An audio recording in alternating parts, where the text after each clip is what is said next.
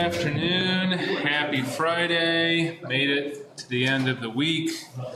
Worth celebrating with a picture of a Steller's jay, um, close close relative of the blue jays that we, we have around here.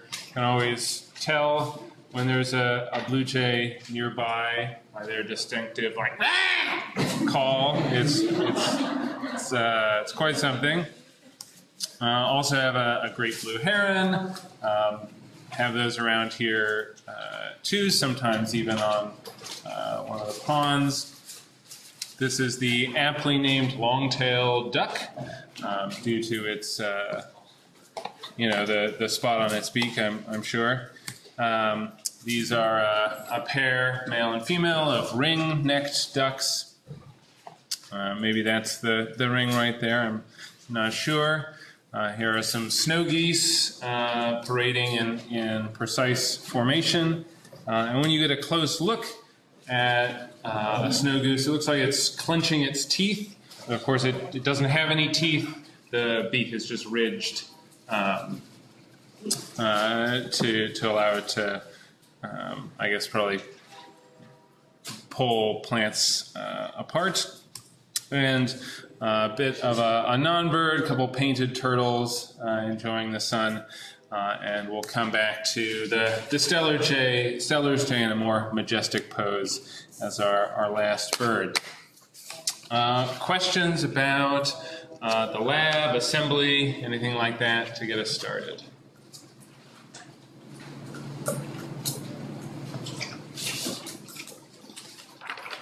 Christian.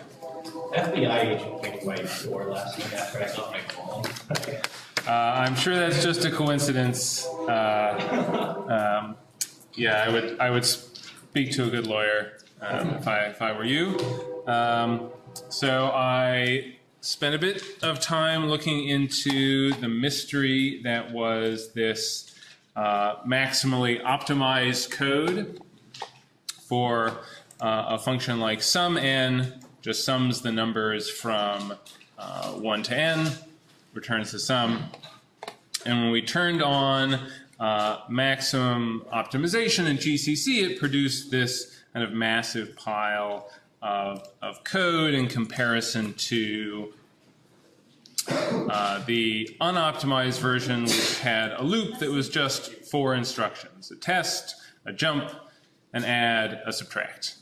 What we would expect but somehow this uh, whole mess was about four times faster than the unoptimized version. So I looked into this. One thing that this code is doing is that it compares 10 to the argument. And if the argument is less than or equal to 10, it jumps to this label L8. If we look at the label L8,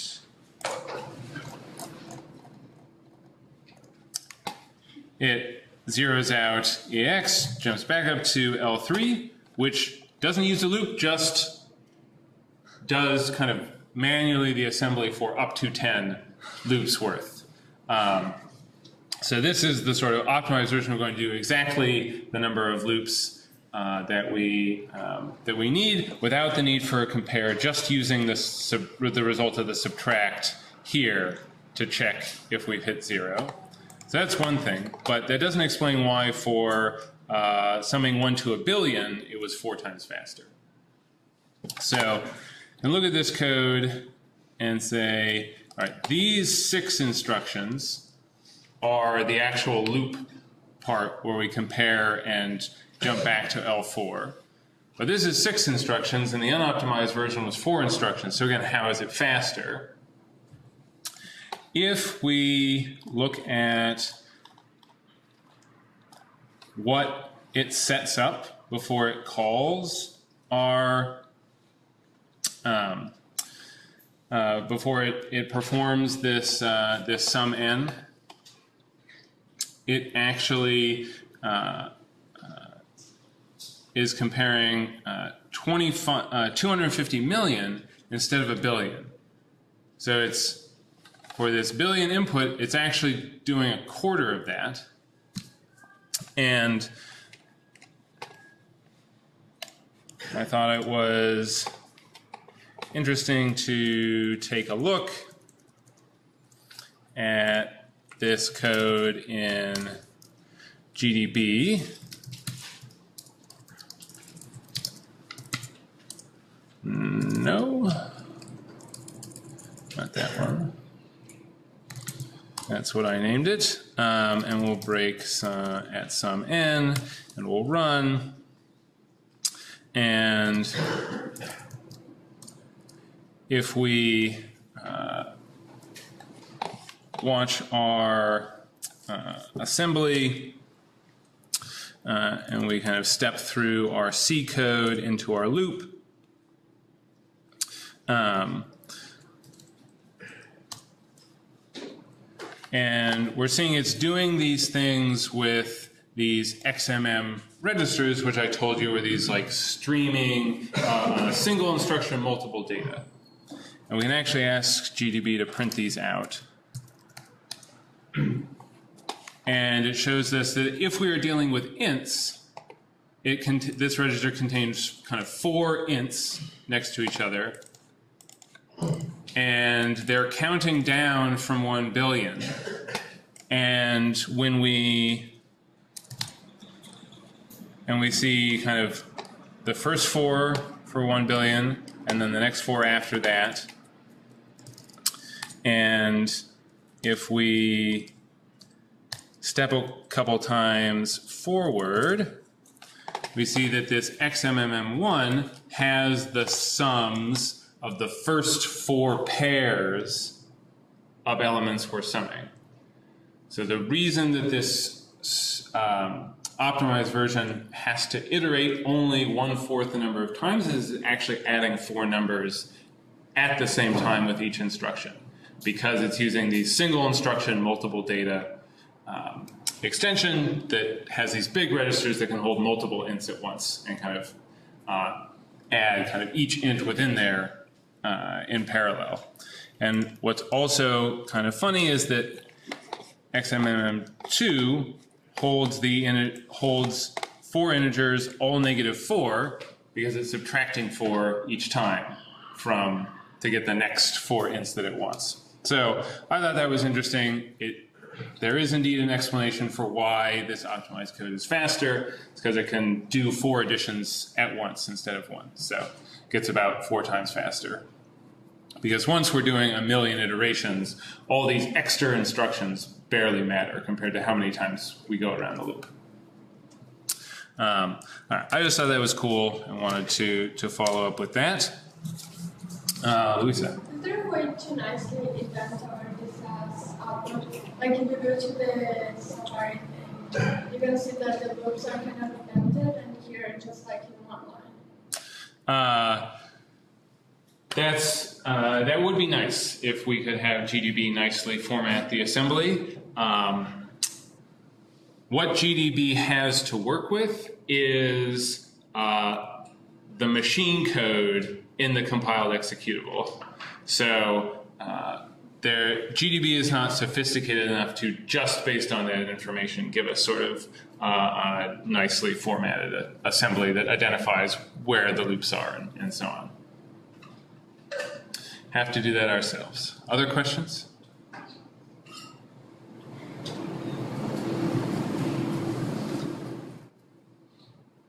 All right, one point I wanted to clarify on the lab is um, I go to my bomb from the other day, and there's this uh, file, uh, and I can print it out on the command line using the cat command called diffuse.txt. Currently has nothing in it, uh, but the goal of the lab, you're not changing the bomb at all. That's fixed. You're trying to figure out what text to feed into the bomb to diffuse phase one, and then what the next line of text should be to diffuse phase two. And so you're going through the assembly basically saying, okay, I want this function to return without ever calling explode bomb. First, how does it use the input that you enter, and then how, uh, what input would cause it to get to the return without ever calling explode bomb. And uh, we saw uh, last time that there was a string uh, in the phase one function uh, there and back again uh, period. So I might put that into my diffuse. Uh, no, thank you. Um, in my diffuse.txt, and then run my bomb with that with that input, and it says phase one diffused. How about the next one? So now it's waiting for my input to phase two. Uh, is this right? Uh, no. So uh, one important thing to be aware of for diffuse.txt, uh, it worked in this case with uh, the first input, um, but it's uh, if you have uh, kind of more than one line, always make sure there's a blank line at the end. Like if you change diffuse.txt and it's it's um, if it's blowing up and you're not sure why, or you're getting a weird end of file error in GDB, check that there's a blank line at the end of, of diffuse.txt, um, since the, the bombs um, can be uh, a little squirrely about that. Uh, any questions on, uh, on the lab?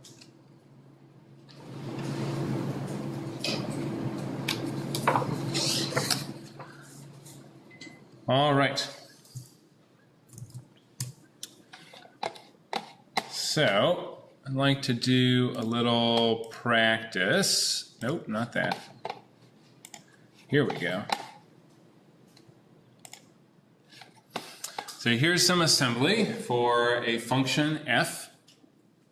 And uh, to practice understanding what uh, assembly code is doing, now that we know how loops work and conditionals work, I'd like you to translate this assembly into C code. So figure out C code that would do something equivalent to this assembly, many different uh, possible C codes that would be equivalent. Uh, so work uh, either on your own or with your neighbors to do that translation. This is the type signature of this function f. Returns a long, takes a pointer to a So long. this is a you're- Is that, is that what you're that's right. So, one of the key components of understanding what this assembly code is doing is figuring out what conditions, what Boolean expression would these two test and jumps encode. Um, so, if we test a value with itself, and then we have jump not equal, what uh, what sort of comparison might we be doing expressed in C? Silas? if it doesn't equal zero, because test is an and with itself, right? And so it will only return to zero if it's already zero. Or no, yeah, yes. Yeah, if we look at the at our table of jumps, we combine a test with jump not equal, we're going to jump when A and B do not equal zero. And since we're ending at something with itself, we're just getting whatever values in RDI, and we're jumping if that does not equal zero.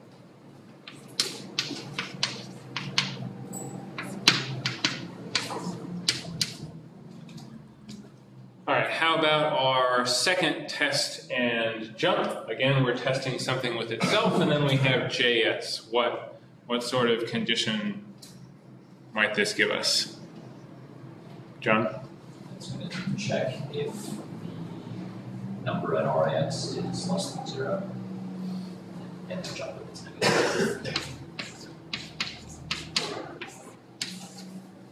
Exactly. The JS is jump signed. We're going to jump if the result of A and B is negative. A and B are the same, so we're jumping if RAX is negative, RAX less than zero. So we have these two pieces. We have some if comparison to, uh, to zero here, so what, uh, if it's RDI, what, do we know what variable that is that we're checking? It- It's the pointer key, why is that? because RDI is the first, number one, and that's number one, if we had a second variable, I don't remember, but it wouldn't be RDI, then that would be the RSI. Yeah, and Yeah. then RAX is whatever we're checking. Exactly. We know that RDI is going to hold the first argument to any procedure, so it must be P. So we're doing some comparison with P and zero. If P is a pointer, which we know that it is, what might this condition actually look like in C?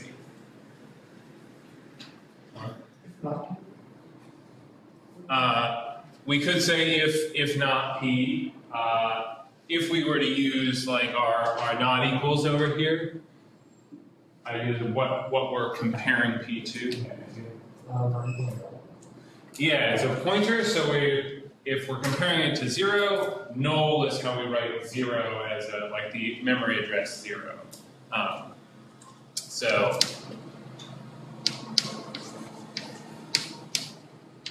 if p does not equal null, then we are jumping. Uh, and if we don't jump, what happens? Eric?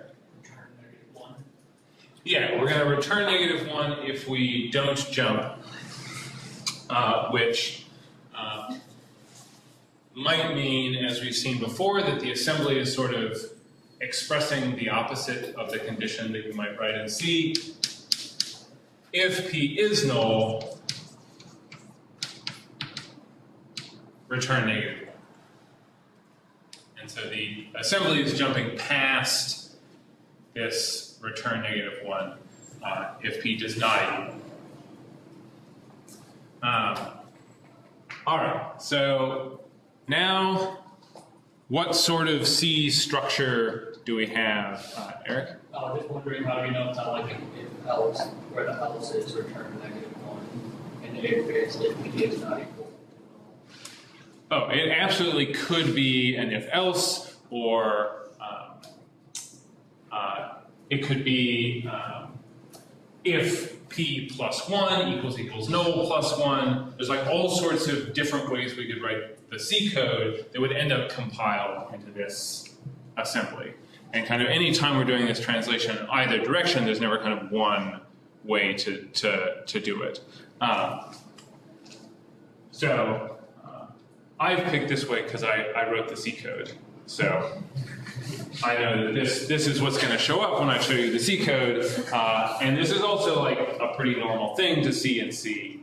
Um, compare a pointer to null as a sort of check before you do anything else. Um, so we're jumping to L3. What sort of structure with these five assembly instructions? Yeah, Louisa? While. Yeah, why, why do you think it's a, a while loop? Yeah, we have uh, a, a Boolean condition that is checked when we go around uh, go around a loop. And actually, in all cases where you don't have a continue statement, a for loop can be written like rewritten as a while. So uh, we can say um, while and theories on what our while condition is going to be. We know that this pair of instructions is checking RAX uh, less than zero, but what might that, how might that show up in our in our C code based on what else is going on? Aiden? X star is, or sorry, P star is smaller than zero. Yeah, so we see that we move the thing stored at the address. where We have parentheses around RDI that says dereference that pointer, get what's in memory there. That's our uh, dereference operator in C. Well, star P is less than zero. And what do we do inside this loop? On? Star P plus equals 10. How, how do we know, how did, how did you get that this is what, what will happen? Because RAX is just the dereference star P, which essentially has to use the can't dereference on both sides, and the loop will just add Q to it, just to it. Yeah, so we know we're adding 10 to the current value P points to, and then that second move instruction there shows that we're moving it back to memory. So now we're both, we're both getting the current value that P points to, adding 10 to it, and then moving it back to memory, which we can express in, in one line of C code. Um, anything else in our, in our while loop? What else do we need to do for this function?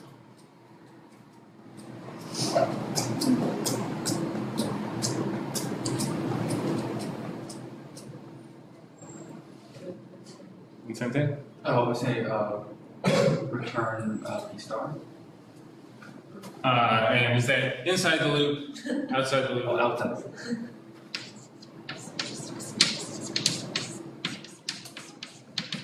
Return the value that, that P points to, because that's what will be in RAX uh, at the end of the function. Etienne? Would it be faster to set it to a local variable and then increase that by ten because rate of user and then assign it? Yeah, that's, that's uh, a good, a good point. Would it be faster if instead of writing this code where we're continually updating a pointer, we save its current value in a local variable, add on to that, and then modify it at the very end?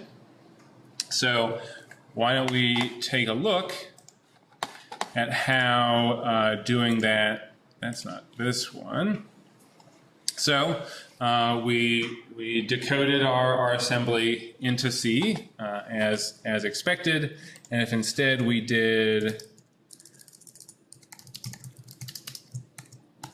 get the current value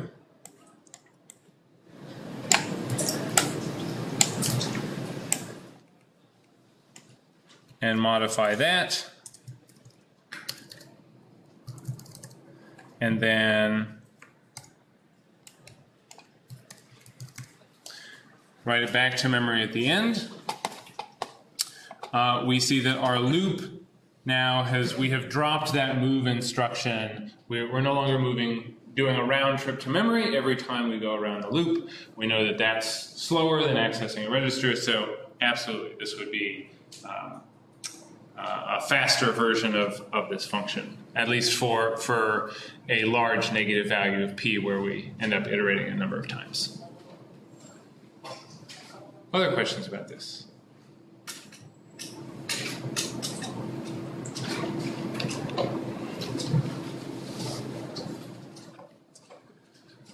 All right.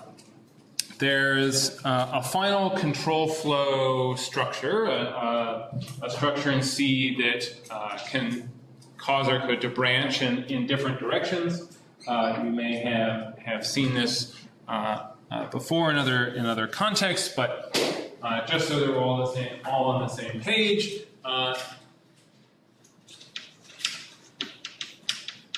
this is the switch statement, something that, that um, Java and C both have. Python does not, though I think they're actually adding a switch statement to Python um, in an upcoming version. But the idea is that we have switch with some argument and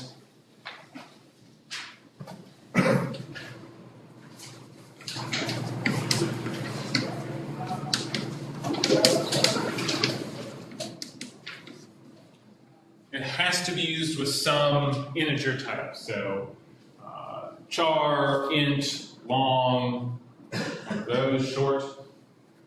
And then inside the switch, we have different cases, and we go to the one that matches the value of x. So we might have case one, case two, and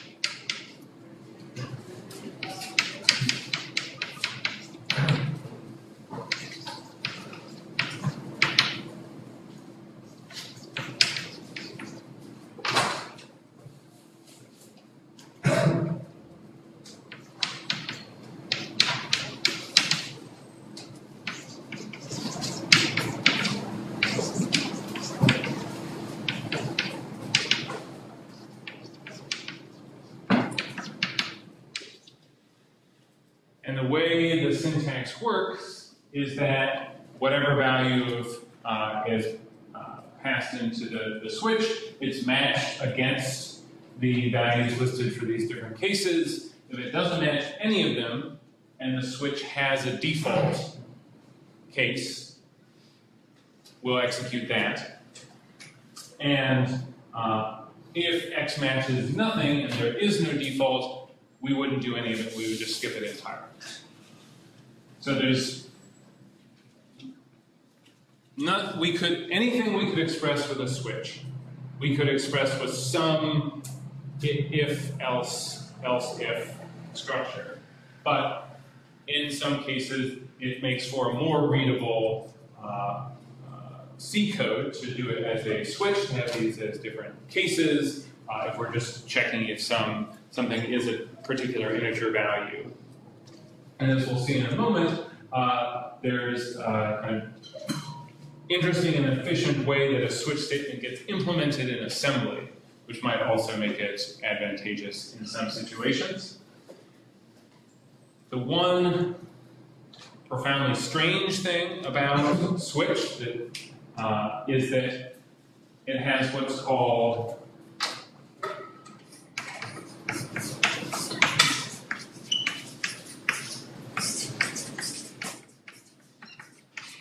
fall through behavior, which means that when we do a case, we keep going to the next case unless something stops us.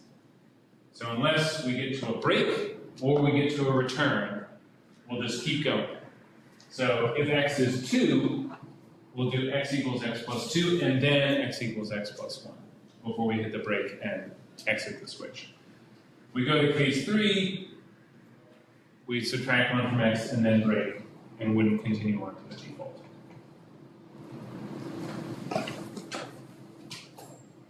Alright, Questions on this? Yeah, yeah. Mm, So for case one, if it's written seven, would it go to case two still? Uh, yeah, the question is if, if we do case one and get to this return seven, then we continue on. Uh, because return is going, to whatever function this is in, return is going to end that function and we go back to where it was called. Uh, anytime we get to a return, we won't do anything after it, whether it's in a switch or anywhere else in our code. So, So does this mean that if you don't have a break after case two, it's gonna do default as well? yeah, if we didn't have this break at the end of case three, it would also continue into default. It just keeps going down until something stops it, either a break or, or a return, or we get to the end of the switch.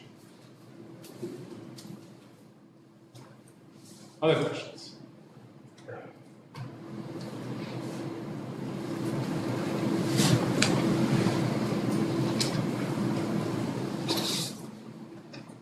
Oh, If like you change x during the running of it, will it like update the cases? So like if case two is if x equals two, and case three is if x equals four, and you give it two, when case two sets x to four, will that also make case three be true? Or will it like, Uh, the, yeah, the question is, changing the value of the thing we put in, does that affect the behavior of the switch? It does not.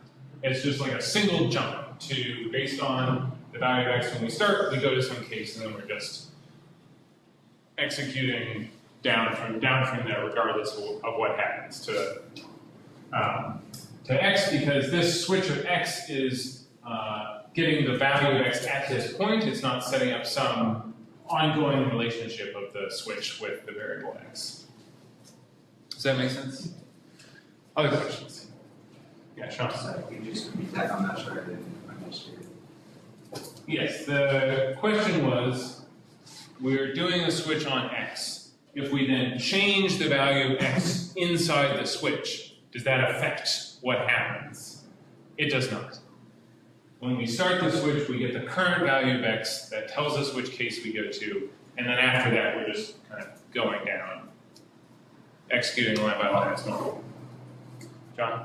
But like, the value of X persists between those like fall through cases though, right? Like, it's, it's not like jumping around from case to case based on the value of X, like there's just one jump, but like, in this case, for example, like if X was, uh, four going in, then we get X equals six out of case two, but then X equals five out of case three.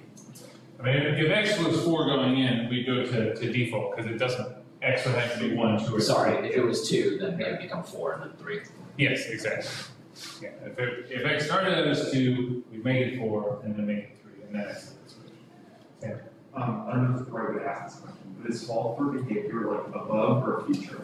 Like, do you use the factor of fall through behavior, or are you trying to avoid the fact that you, like, trying to break or return in each case? Um, so someone thought it was a feature because they decided to make it part of the, the C language. Um, I think uh, in general, it relying on fall through behavior is considered a bug because it is like very weird to write code that way. Um, and uh, yeah, in um, in languages that have kind of a, a switch-like thing, but that isn't just matching integers, can sort of match arbitrary values and even values within structures. Um, they don't have fault behavior. There's no such such thing as that. Um, so no, I would say this is just like a weird design decision, um, and you probably shouldn't write code that relies on it. Chris, Um, in the class notes, you have kind of like misnumbered cases. Is the number just arbitrary, like the number of cases? Yes, that's that's a good question. I'll get to that example in a moment, but there's no requirement that uh, the values be in order or that we have all values in a range. We could have case 1000, case negative 3, and default, for example. In case you do like a range, you do like case less than five or case between five and hundred, or just provide all numbers?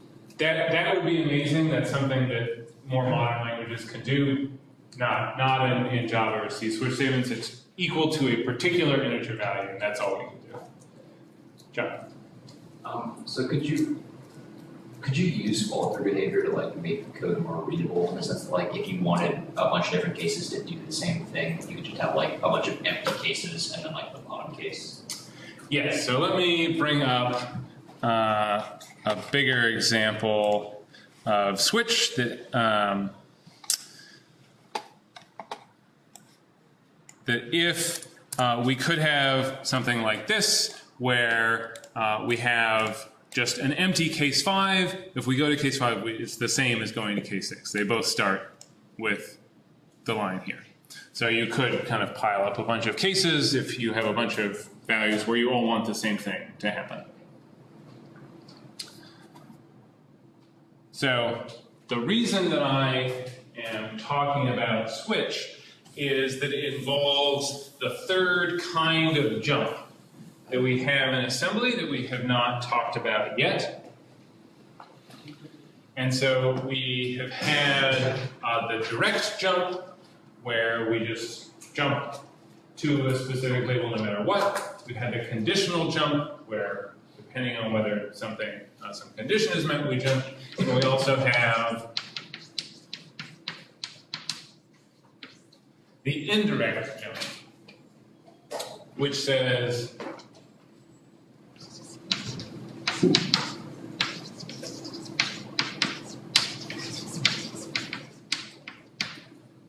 go to a memory address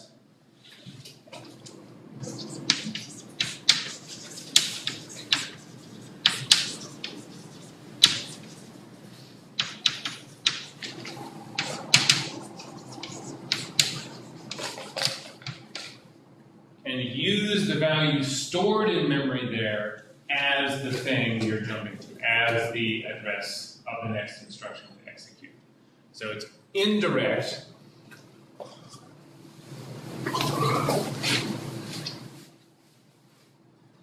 In that we have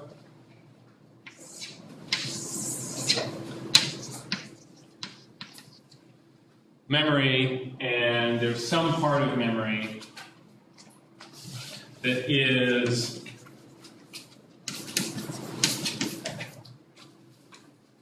what we're going to call a jump table, and it has, say, somewhere uh, in memory here, there is the address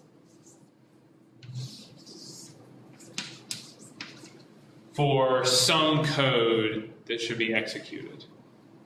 So when we do this indirect jump, which will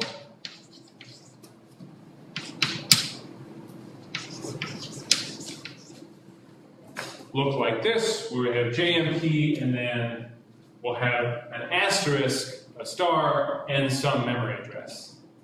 It says go to this address and then use the value stored there as where we actually jump to. So the way that this is used for a switch is if we're jumping on X, we say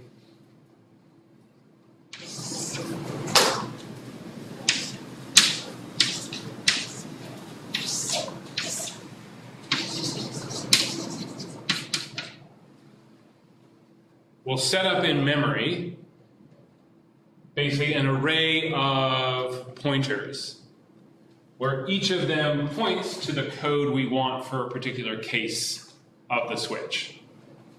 So here would be our return 7, our uh, case 2 would point, there'd be uh, a part of our jump table that would point to where the instructions were to do x equals x plus 2 at uh, kind of index 3 in our table.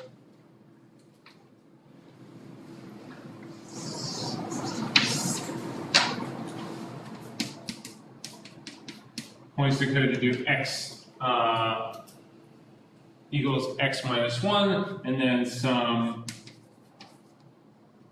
likely some other jump, since we have a break, and we want to kind of jump out of the switch statement at that point.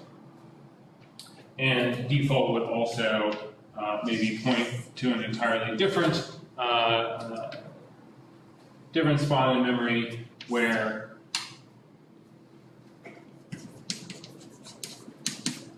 we would do return negative 1.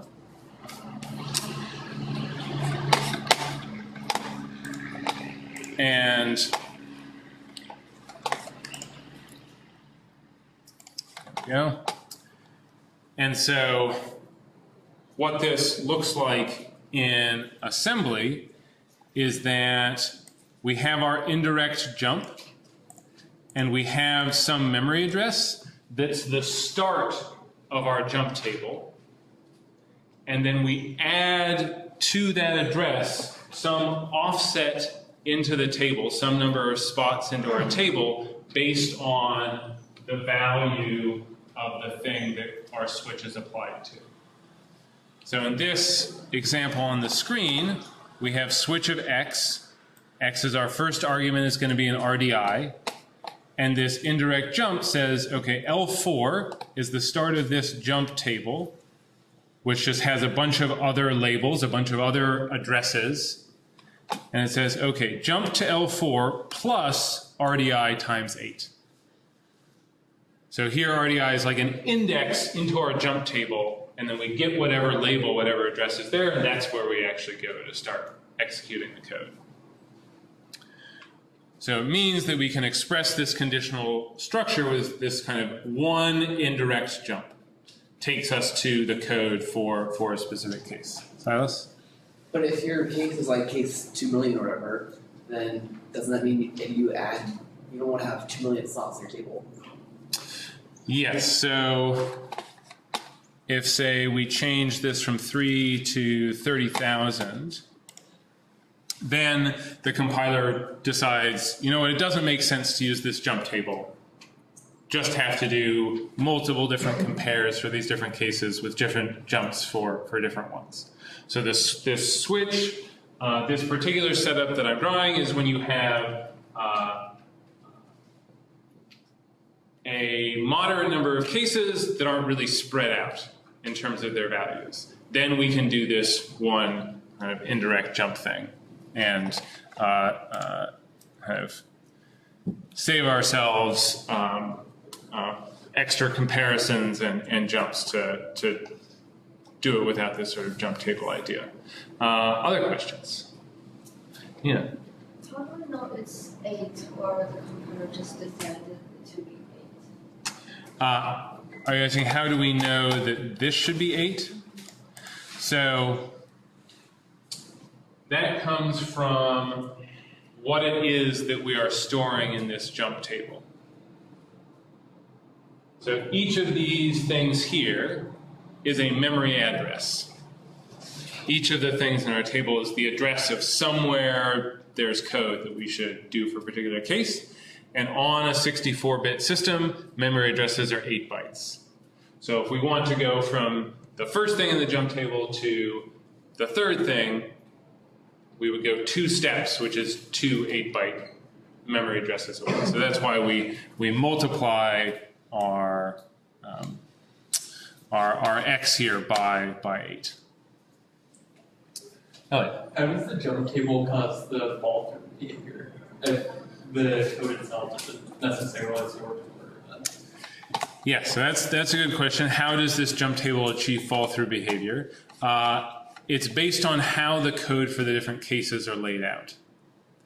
So if RDI is 2 for case 2, that's the one up here that will have fall through behavior. And so that should jump us to L7. And if we look at L7, it does y plus z and then jumps to the code for case 3, which is, is L6. So fall through is achieved by arranging the assembly for the different cases to achieve the fall through, either by putting them next to each other uh, in memory or adding a, uh, an unconditional jump. Other questions?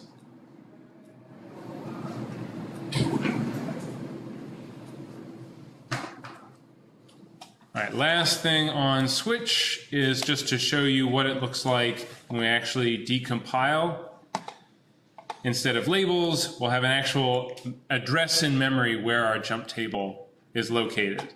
And we're jumping some offset from that, which means that if we're if we encounter this in GDB, we can use the um, our ability to, our ability to examine values in memory to find out what's in this jump table. Like starting with this address, every eight bytes is some part in a, part in the jump table, and so we can actually use GDB to find the layout of the jump table, even though uh, it does not the the jump table. Uh, doesn't appear in this, this decompiled binary explicitly.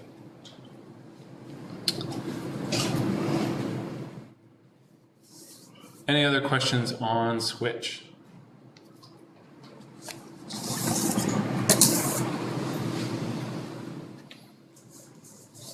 All right. So let's talk about compilation.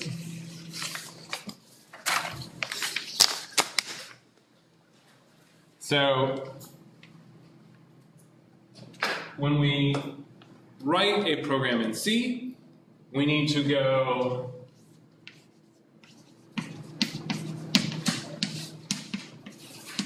from C to machine code to be able to execute our program. Because machine code is what the CPU actually needs, C is what we're writing in, but there's it's not one step to do this translation of C uh, into machine code. Uh, we start off with our text.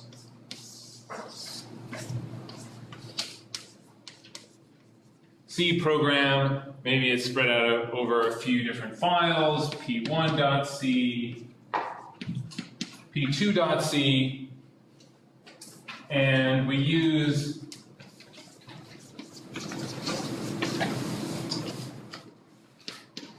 the compiler uh, and this instruction or this command line might be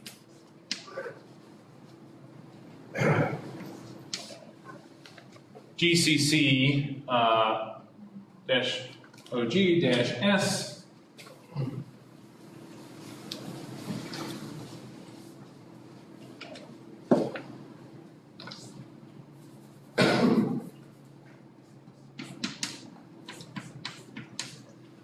With our, our C files, and this dash S tells it just go to assembly and stop there. And that's sort of the next stop on our journey to machine code. We're still dealing with, with text. Um, and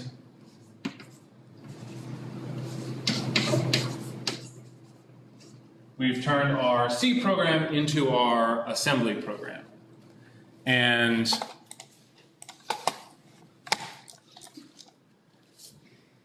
that's what we've mostly been looking at uh, in this compiler explorer is take this C code and turn it into this text assembly. That's this step that the, the compiler uh, is doing.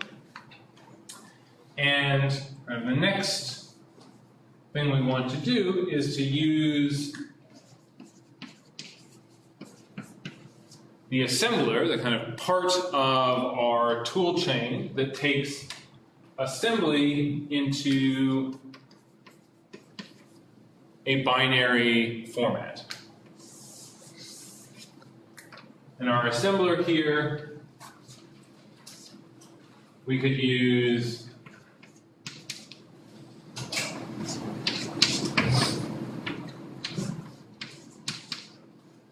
gcc-c with p1.s and p2.s, or instead of gcc.c,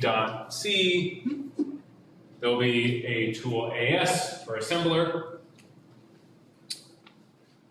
or maybe GAS for GNU assembler. And this will give us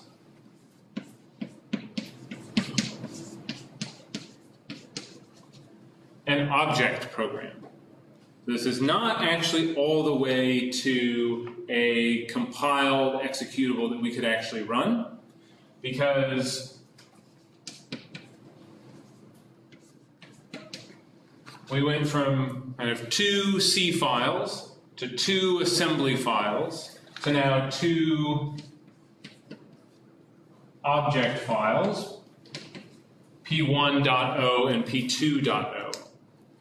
And so these are um, in binary, they're no longer ASCII text characters. Um, they are uh, uh, in machine code, that's, that's what the binary, they're ones and zeros. But they're still separate. We haven't kind of put them together into a kind of a single program that we can run. And so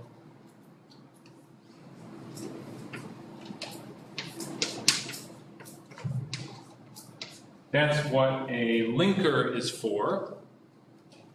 And GCC or program called, uh, or LD is the often the linker program um, in uh, on, on Linux. So, so GCC contains compiler, assembler, and linker. It does all three of these unless we're giving it some uh, command line argument to tell it to only do part of the step.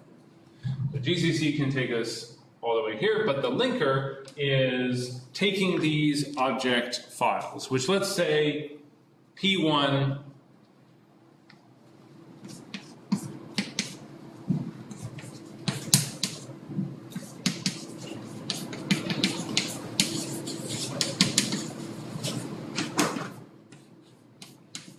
If P1 calls a function that's defined in P2. that means at this step where there's still these separate object files, there's just a hole in uh, in our say uh, p1.o because it doesn't know like what memory address the instructions for this function in p2 where those are going to be. So at this point, we just have kind of uh, to-dos in our object files that need to be filled in with an actual memory address uh, so that we can call some, some function. And so that's what our linker is, is doing.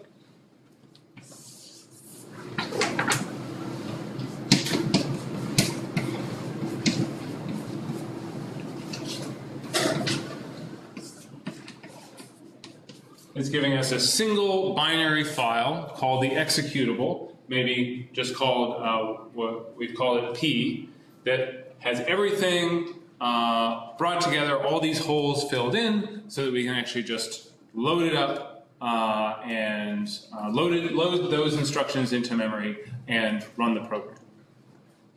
Uh, if our P1 or, or P2 you would say, standard library functions like printf or, or uh, strlen or, or anything like that. The linker is where we would bring in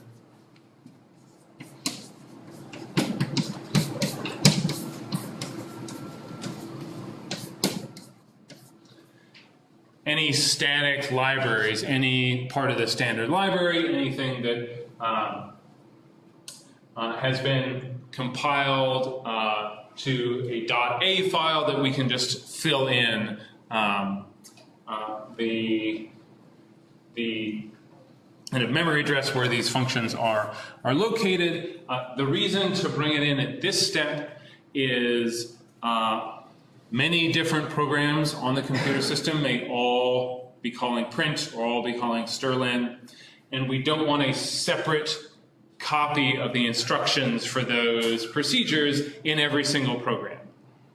So instead, we just link into every program uh, the one place where we're storing these standard library functions. And that way we can get away with just a single copy uh, of, of those instructions. All right, what are your questions on this compilation process?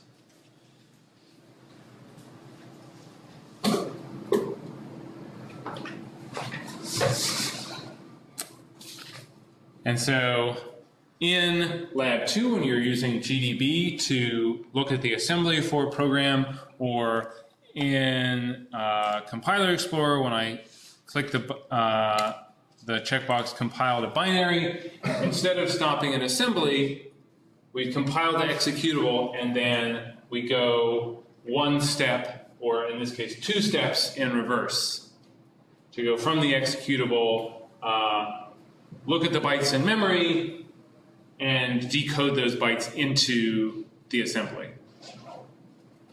And so uh, this view that we're, we're looking at here is we went to executable and then decoded them back into assembly. And that's why we see labels filled in with actual addresses, and it shows us the actual bytes in memory that we got when we went to the final executable.